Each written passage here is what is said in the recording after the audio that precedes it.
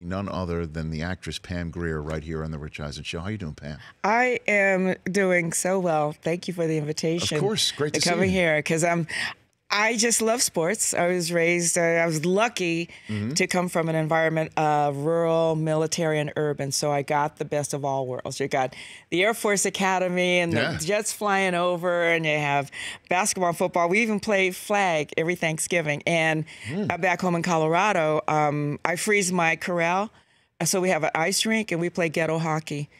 People versus the dogs, and everyone brings their uh, potluck, and they bring. We play with a broom or dust mop Yeah. and sneakers, and the dogs. Uh, everyone's dogs are like 20, 30 dogs with with uh, tennis balls, and we have to get the tennis ball hit it into the net Yeah. before a dog gets it and runs through the corral. they do- the dogs beat us three years in a row. That, well, I can imagine that the dog can really get something After a done. real tennis ball, Yeah, they yeah, go, they lose their minds. I know. You kidding me? You lose. So- Right. but it's so much fun and great neighborhood who we respond to each other's cultures very well. Yeah, I mean ghetto hockey. Is that what- Ghetto hockey. Okay, And they call me career. Mommy G, so my my will be my hockey. Well, I mean, it's interesting. You you you We like hockey. Well, Pam, you've lived in you you've been living uh, your your best life, and you're now in this film, bless in this TV show, bless this mess on on ABC. Yeah, Uh, it shortly airs before. April uh, 16th. Yeah, It starting premieres. April 16th, Mm-hmm. and we'll definitely talk about that in a second. But you were just telling uh, Chris, that's Chris, my buddy Chris across the way over there. You were just telling us before. Hi, Chris. Hey Pam, how are you? How are you? Great. You were just saying before we started that um, who did you who did you have over to the house that you said when they come Um, into town? Darryl Jones was playing um, bass for the Rolling Stones, and he came over once to the ranch. They Right. all get lost and think they're going to die because it's, it's a two lane country road. Right. And then I had Snoop Dogg, Xzibit, and Dre. They had a concert in um, Fiddler's Green. Yeah. And I invited them over to have breakfast. Uh, my mom was uh, early 80s at the time. And. Um, before they went on the show and made, made sure that a, a barbecue guy delivered food to them. You know, I try to, you know, take care of folks when they come to town. And so they came out, had breakfast. They had like, you know, 900 eggs, you know, 50 pounds of bacon, toast, juice, and everything. And, and just loved it. They wanted to see my horses. Okay. Um, which I rescued for a therapeutic riding program. These are big horses. These are jumpers. These are Grand Prix jumpers. They're Did- not tiny, you know, sport horses. So Snoop said he's going, you know, he wanted to ride him. He wanted. He ran. Xzibit, who is half his size, said, "I'll do it." You know, so it's always the the the, the min, diminutive Yes. hero that takes charge. Yeah. But my horses were acting up. They mm-hmm. came down sliding and jumping and bucking and scared everybody. I said, mm-hmm. "Ooh, what, what? You don't act like this all the time." Right. And so I said, "No, I don't want to get Snoop hurt. He's got a concert, so." You know, stay back, everybody. But it was fun. They what- came out. Did uh, did Snoop have gin with his juice? Uh, no, that breakfast? He, no, he did not. But he had something else before breakfast. Because when they opened the door, and my mom and I are standing out. See, I bought a small one-level brick ranch house, right? And so my barn is bigger than my house. Right. So we're standing out there, and they say, "Pam, we, we're looking for you. We're looking for." You. And they drive right by me. I said, "Turn around, come back." So they came up to the drive, and they said, "We thought it was the Helps house." Mm-hmm. I'm like, "No, it's a small house, you Yes. know, because I, I really like."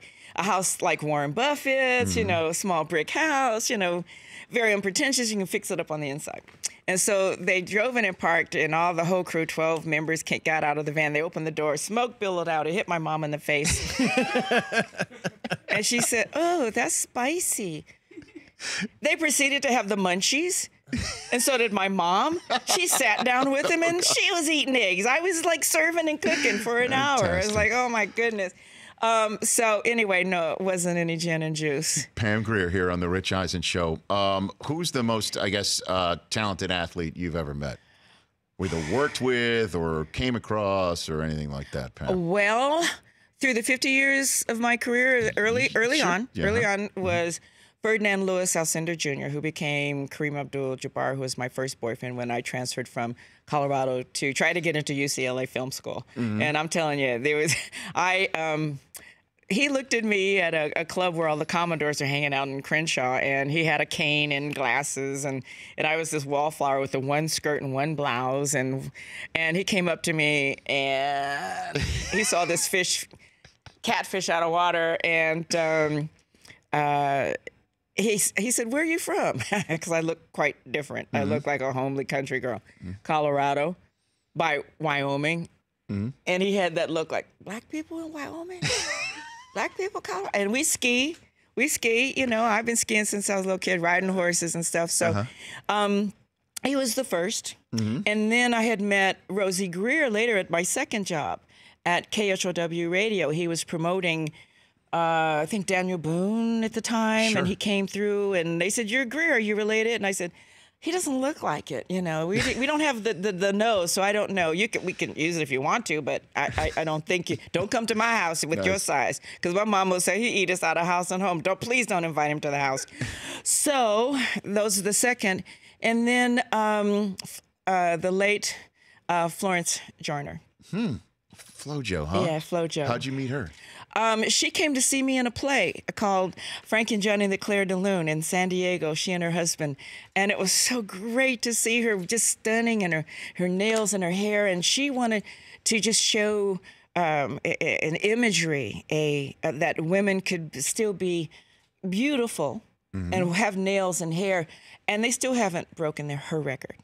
She was outstanding and brilliant and smart. And she came to see me. There was no envy or anything like that. And it was so uplifting because I, I ran track as well in high school. I uh, ran the dashes, um, high jumped, hurdles. Uh, I bowled. I was in the bowling league. Anything to keep from doing the dishes. I was doing sports. Okay, so it all worked out. It worked out. Clearly. And then um, I met uh, Earvin Magic jo- Johnson when Yes. he'd opened up his theater. So I've I've I've been able to meet a few. You sure? You've worked with Jim Brown, correct? On a movie Yeah, I did uh, the original the OGs with original Jim Gangsters? Brown, Yeah. Fred Williamson, and um, they they are fantastic um, athletes. And, and actually, I met Jim early, and I didn't know who he was. I um, was visiting some friends in the Hollywood Hills area because I was was this? um, 670, 1971. Okay. I was trying to get, you know, four or five jobs so I could stay and go to UCLA. And I, I said, Oh, look at this hill. I could go hiking. No one hikes up Sunset Plaza Drive Right. but me with a fur vest on and a hiking stick and my $9.99 Sears hiking boots. I started hiking up uh, the, the, the drive. Right. And Jim Brown in a, a Mercedes convertible with Fred with a bevy of beauties hanging out all over. We're driving up Sunset Plaza.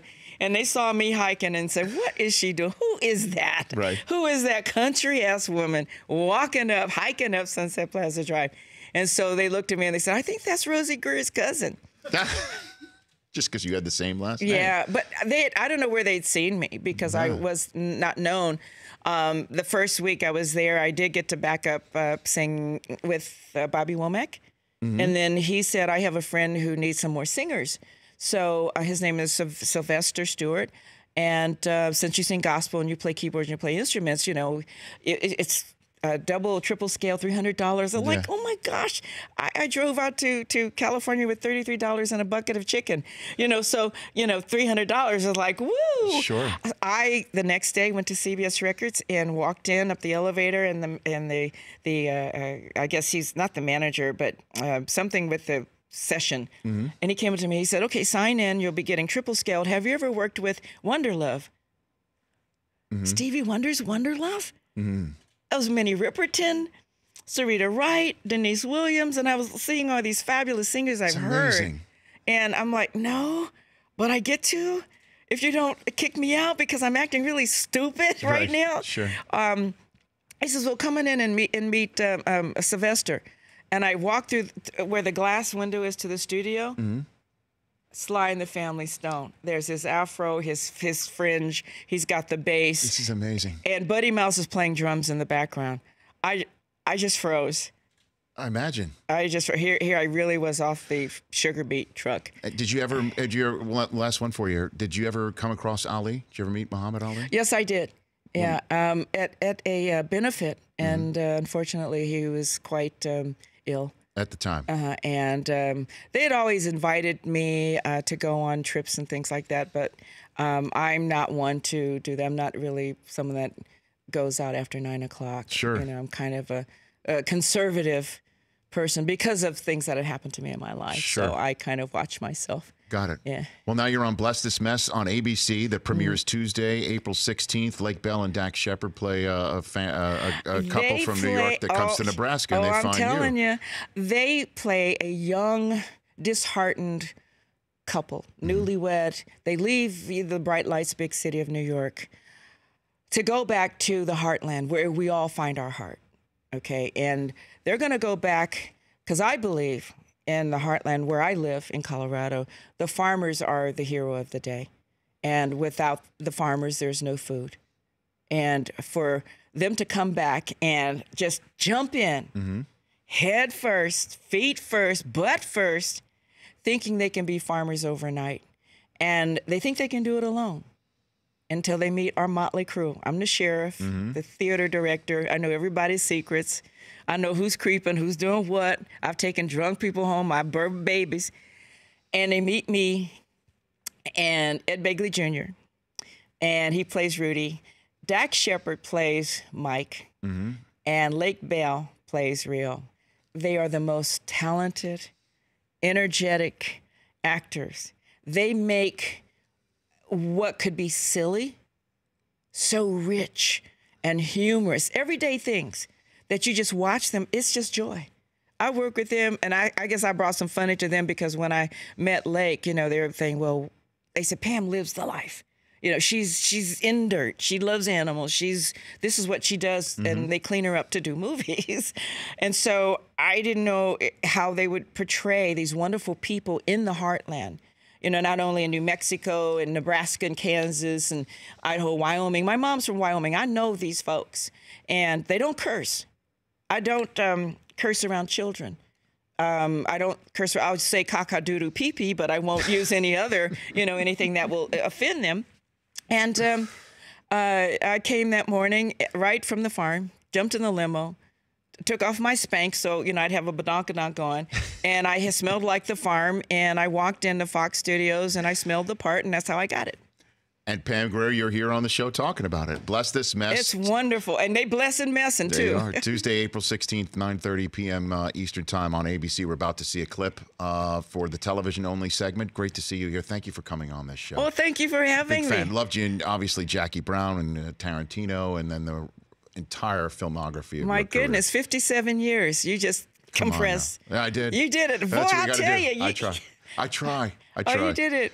Good to see you. You did it. Thank, Thank you for coming well, on. when I- you come to Colorado, you have to do my show. well, I would love it. Are you kidding me? Yeah, I, I do the I'll show come from for the breakfast barn. since I hear it's such a party. My gosh. is. We'll do it from the barn. Fantastic. At Pam Grier on Twitter. We'll check out a clip uh, when we come back here. Chris Brockman's news update on the other side. Big Ben listened to me, did he not? It seems like Big Ben is listening to have. me. And the Giants. Michigan State. Oh, you think they're going to win it all? I don't know. That's Dax. He was from Michigan. Oh, okay. So I kind of support my bro. You There you go. Uh, Pam Grier here on The Rich Eisen Show. The Rich Eisen Show, weekdays at noon Eastern on Audience.